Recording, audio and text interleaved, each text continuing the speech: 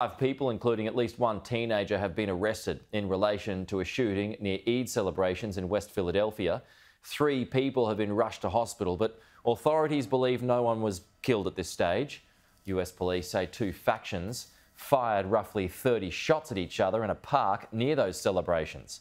Officers detained three men and a woman and recovered four weapons directly after the incident.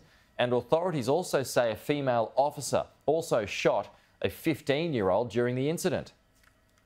One of our officers who was assigned to the area engaged a 15 year old male who has a weapon. She fires, and that male is, receives a gunshot to his shoulder and his leg.